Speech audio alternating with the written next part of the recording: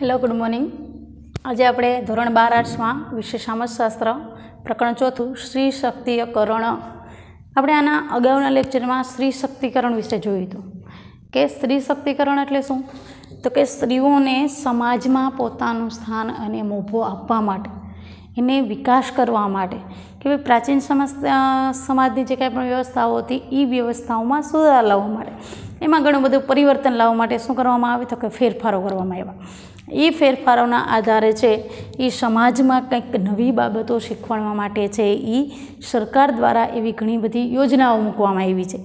એ યોજનાઓના આધારે સ્ત્રીઓને પગભર કરવા માટે, સ્ત્રીઓને રક્ષણ આપવા માટે, સ્ત્રીઓમાં સુધાર લાવવા માટેની કામગીરી છે એ કરવામાં આવેલી છે. તો આપણે આની પહેલાંના બે જે કંઈ પણ ક્ષેત્રો હતા, શૈક્ષણિક ક્ષેત્રો, એ જોઈ ગયા હતા. એના પછી જોઈએ આર્થિક ક્ષેત્ર. આર્થિક ક્ષેત્ર એટલે આવકના જે કંઈ પણ સાધનો છે એના જે કાંઈ પણ માધ્યમો છે એ માધ્યમોના આધારે સ્ત્રીઓને શું કરવામાં આવે છે? તો કે એને આગળ વધારવાની પ્રેરણાઓ પૂરી પાડવામાં આવે છે. તો આપણે આર્થિક ક્ષેત્રમાં જોઈએ તો કે આર્થિક ક્ષેત્રમાં શું કરવામાં આવે છે? તેમાં ઘણા બધા એના મુદ્દા જોવાના છે. એમાં પેલું છે તાલીમ વર્ગો. કે સ્ત્રીઓને છે એ રોજગાર માટે છે એ શું કરવામાં આવે? તાલીમ પૂરી પાડવામાં આવે. દાખલા તરીકે કોઈ સ્ત્રીઓ છે એ પોતાની કલા કૌશલ્ય દ્વારા છે એ યોગ્યતા મેળવી શકે છે. તો એના માટે એને એવી તાલીમ આપવામાં આવે કે જેના કારણે છે એ પોતે પોતાનો વ્યવસાય છે એ ચલાવી શકે. જો એને તાલીમ પૂરી પાડવા માટે સરકાર છે એ ઘણી બધી એવી બાબતો છે એ પૂરી પાડે છે. તાલીમના વર્ગો છે એ ગોઠવી આપે છે જેનાથી છે એ સ્ત્રીઓ છે એ પોતાનું ભરણ પોષણ સારી રીતના કરી શકે. એના પછીની બીજી વાત કરીએ તો કે વ્યવસાયના ક્ષેત્રો ખોલવામાં આવે. તાલીમ આપી દીધી, પછી એને કંઈક નવું વ્યવસાય કરવું હોય તો એના માટે સરકાર શું કરે છે? તો કે નાણાંની વ્યવસ્થા કરે છે સ્થાનો આપે છે, યંત્રોની સુવિધાઓ આપે છે. ઘણા બધા એવા ગૃહ કાર્યના જે કાંઈ પણ વિભાગો છે એ પોતે સરકાર નક્કી કરે છે એના દ્વારા છે એ સ્ત્રીઓને વ્યવસાયો છે એ પૂરા પાડવાની તકો પૂરી પાડે છે. એના પછીની વાત કરીએ તો કે પ્રદર્શન વેચાણ. હવે સ્ત્રીઓ જે કાંઈ પણ રોજગાર કરે છે, જે કાંઈ પણ વસ્તુઓ બનાવે છે, એને વેચવા માટે સરકાર છે, એવા મેળાઓનું આયોજન કરે છે. એવા પ્રદર્શનની જે કાંઈ પણ બાબતો છે, એ નક્કી કરે છે જેનાથી એ વસ્તુઓ શું થાય છે?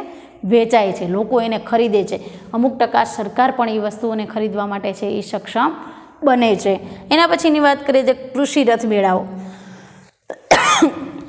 આપને ખબર છે, કૃષિ રથ મેળાઓ છે, એ શા માટે મૂકવામાં આવે છે? ઘણી વખત એવી ઘણી બધી યોજનાઓ, ઘણી બધી એવી પદ્ધતિઓને સ્વીકારવા માટે, ઘણી બધી એવી વસ્તુઓને વેચવા માટે છે એવા મેળાઓનું આયોજન કરવામાં આવતું હોય. એમાં સ્ત્રીઓને સક્ષમતા આપવા માટે, સ્ત્રીઓએ બનાવેલી વસ્તુઓનું વેચાણ કરવા માટે અને સાથોસાથ સ્ત્રીઓને ભરતી કરવા માટે એને વ્યવસાયોની તા જે કંઈ પણ બાબતો છે એ આપવા માટે છે એવા મેળાઓનું આયોજન કરવામાં આવતું હોય છે. એના પછીની વાત કરીએ સ્ત્રી જૂથ કે દરેક કાર્ય માટે છે એ જૂથની જે કંઈ પણ સંભાવનાઓ છે, એનું જે આખું ગ્રુપ છે, એનું જે કંઈ પણ કાર્ય કરવાની પદ્ધતિઓ છે, એના માટે છે એ સ્ત્રીઓને અલગ અલગ વ્યવસાયો માટે છે, અલગ અલગ જૂથ, અલગ અલગ વિભાગ છે એ પૂરા પાડવામાં આવે છે. કે જેથી સ્ત્રી છે એ પોતે અલગ અલગ વ્યવસાયોમાં જોડાઈ શકે, એ વ્યવસાયોમાં પોતે આગળ વધી શકે. તો આવી રીતના છે એ સ્ત્રીને સશક્તિકરણ કરવા માટે આર્થિક ક્ષેત્રે છે એ ઘણી બધી બાબતો છે એ સરકાર દ્વારા પૂરી પાડવામાં આવે છે. એના પછીની વાત કરીએ આરોગ્યલક્ષી. કારણ કે પહેલું સુખ તે જાતે નથી એટલે પેલું સ્વાસ્થ્ય છે એ જરૂરી છે. સ્ત્રીઓના સ્વાસ્થ્યને જાળવવા માટે છે એ સરકારે ઘણી બધી એવી કલ્યાણકારી પદ્ધતિઓ મૂકેલી છે કે જેનાથી સ્ત્રીઓને રક્ષણ પૂરું પાડવામાં આવે છે. સ્ત્રીઓના સ્વાસ્થ્યમાં કોઈ પણ જાતનો છેડછાડ ન થાય એટલા માટે સરકારે ઘણી બધી એવી વ્યવસ્થાઓ પૂરી પાડેલી છે. એના પછીની વાત કરીએ તો એમાં સ્ત્રી સ્વાસ્થ્ય સમાજમાં જે બંદીઓ રહેલી છે કે ભાઈ સ્ત્રીઓ છે એને કોઈ પણ કાર્ય એવું કરવું જોઈએ ને સ્ત્રીઓને બહાર નીકળવું જોઈએ ને કે જે કંઈ પણ માતાની જે કંઈ પણ વ્યવસ્થાઓ છે, જે કંઈ પણ ભાવનાઓ છે એને વિકસાવવા માટે જે ઘણી વખત છે એ સ્ત્રીઓને પોતાનું બલિદાન છે એ આપવું પડે છે. તો સ્ત્રીના સ્વાસ્થ્યને જાળવવા માટે એને તમામ પ્રકારની સુવિધાઓ છે એ પૂરી પાડવામાં આવે. એના સ્વાસ્થ્યને જાળવવા માટે છે, એના કંઈ જે કંઈ બાબતો છે, એના રક્ષણની જે કંઈ પણ બાબતો છે, એની દવાઓની જે કંઈ પણ બાબતો છે એ સરકાર દ્વારા પૂરી પાડવામાં આવે. એ માટે સરકારે આવી ઘણી બધી કલ્યાણકારી યોજનાઓ છે એ પૂરી પાડેલ છે. એના પછીની વાત કરીએ તો કે માતૃ કલ્યાણ કે જ્યારે સ્ત્રી છે એ જ્યારે માતા સ્વરૂપે છે એ આવે છે ત્યારે એ પોતાના બાળક પ્રત્યે ખૂબ જ છે એ સભાન જોવા મળે છે. પણ પોતાનું છે એ જે સ્વાસ્થ્ય છે એ જળવાતું નથી. તો આવી ઘણી બધી બાબતોના આધારે છે એ શું કરવામાં આવે છે? તો કે માતાનું જે સ્થાન છે, માતાનું જે કંઈ પણ મોભો છે એ જાળવવા માટે સરકારે છે એવી માતૃ કલ્યાણકારી યોજનાઓ છે એ શરૂઆત કરેલ છે. તો સરકાર દ્વારા છે એની દવાઓ, એની જે કંઈ પણ ખર્ચાની બાબતો છે, એની રહેવા જમવાની જે કંઈ પણ બાબતો છે એ સરકાર દ્વારા પૂરી પાડવામાં આવતી હોય છે. એના દ્વારા છે એ માતૃ કલ્યાણ કાર્ડ દ્વારા છે એ ઘણી બધી આવી સુવિધાઓ છે એ સરકાર પૂરી પાડે છે. મમતા કાર્ડ છે એના દ્વારા છે આયુષ્યમાન જેવી યોજનાઓ દ્વારા છે એ માતૃત્વની જે કંઈ પણ ભાવનાઓ છે એને ઉજાગર કરવામાં આવે છે. એના પછીની વાત કરીએ કુટુંબ કલ્યાણ. ઘણી વખત છે એ પરિસ્થિતિઓ છે એના શેના આધારે ભાઈ કુટુંબમાં ઘણી બધી વ્યક્તિ હોય પણ એક જ વ્યક્તિ છે એ કમાતી હોય છે.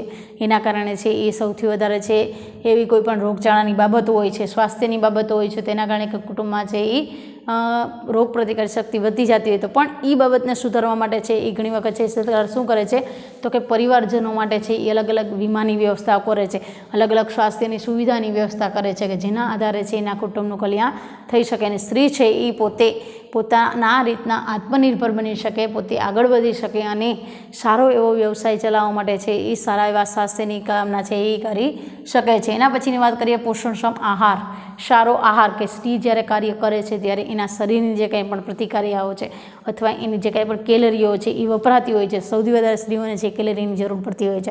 તો એનો આહાર છે એ શુદ્ધ અને સારો હોવો જોઈએ કે જેથી એમાંથી એને સારી એવી કેલેરી મળી શકે, સારી એવી શક્તિઓ મળી શકે અને એના દ્વારા એ સારું એવું કાર્ય કરી શકે. એટલા માટે એવા જે કંઈ પણ વિટામિનો છે એ સરકાર દ્વારા છે, એ અમુક ટકા છે, એ બાલવાણીમાં છે, એ પૂરી પાડવામાં આવે છે કે જેનાથી છે એ શું થાય છે? તો કે આ પોષણક્ષમ આહાર છે એ બાળકને પણ મળી શકે અને સાથોસાથ માતાને પણ મળી શકે. એના પછી વધાવો અભિયાન. એટલે સ્ત્રીઓને આગળ વધારવા માટે છે એ શું કરવામાં આવે છે, એની સક્ષમતા દાખવા માટે છે એ સરકારે આ વધાવો અભિયાનની કામગીરી છે એ ચાલુ કરે છે. વધાવો અભિયાન એટલા માટે ચાલુ કરેલ છે કે જ્યારે એક સ્ત્રી છે બીજી સ્ત્રીને જન્મ આપે છે, ત્યારે ઘણી વખત છે સમાજમાં છે, એને સ્વીકારવામાં આવતી નથી. તો એના કારણે આવી ઘણી બધી બાબતો છે, એ સર્જાતી હોય છે. સમાજમાં એનું સ્થાન છે, એ જળવાતું નથી. તો એના માટે દીકરીનો જે કંઈ પણ સમાન અધિકાર છે એ આપવા માટે છે, એવી ઘણી બધી સરકારે છે, એ યોજનાઓ છે, એ ચાલુ કરેલ છે. એના પછી જાગૃતિ કાર્યક્રમ. એટલે લોકોને જાગૃત કરવા માટે કે સ્ત્રીઓનું જે સન્માન છે, સ્ત્રીઓને જે આગળ વધવાની તકો છે, સ્ત્રીઓને જે કંઈ પણ કામગીરી કરવાની બાબતો છે અથવા સ્ત્રીઓના અધિકારોની બાબતો છે, એને સ્ત્રી સમાન જે કંઈ પણ કાર્ય છે એ પૂરું પાડવામાં આવે. સમાજમાં સ્ત્રીઓને સ્થાન આપવામાં આવે. સમાજમાં સ્ત્રીઓને આગળ વધવાની પ્રેરણાઓ, પ્રોત્સાહન પૂરા પાડવામાં આવે કે જેથી પોતાના કુટુંબ, પોતાના પરિવારજનોને છે એનો વિકાસ કરી શકે. એના પછીની આપણે વાત કરીએ તો કે કલ્યાણકારી યોજનાઓ. એટલે એવી ઘણી બધી કલ્યાણકારી યોજનાઓ છે કે તેના દ્વારા સ્ત્રીઓનો છે એ વિકાસ કરવામાં આવે છે. તેમાં પેલું છે શૈક્ષણિક ક્ષેત્રે. શૈક્ષણિક ક્ષેત્રે શું કામે કે ભાઈ સ્ત્રીઓ છે એ સ્ત્રીઓને શિક્ષણની બાબતો હોય તો ઘણી વખત છે એ સ્ત્રીઓને શિક્ષણ પૂરું પાડવામાં આવતું નથી. સરકારે શું કર્યું? તો કે એવી ઘણી બધી કલ્યાણકારી યોજનાઓ નક્કી કરી કે જેના આધારે સ્ત્રીઓ શિક્ષણ મેળવી શકે. દાખલા તરીકે વિદ્યાલક્ષ્મી બોન્ડ છે. એમાં સરકાર છે એ શું કરે છે? તો કે શિષ્યવૃત્તિની સહાયો પૂરી પાડે છે.